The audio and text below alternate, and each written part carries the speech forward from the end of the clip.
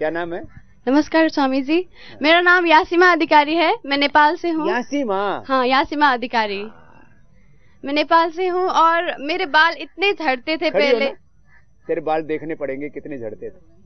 हाँ, देखिए। झड़ते थे अब तो तेरे पूरे। इतने झड़ते थे मैं इतनी परेशान होती थी इतनी परेशान होती थी। और ये देखिए ये दो वो दो मोहे बाल बोलते हैं ना वैसा हाँ, भी होता था। हाँ। और मैंने ये पतंजलि का कोकोनट वर्जिन कोकोनट ऑयल से मसाज करना शुरू किया।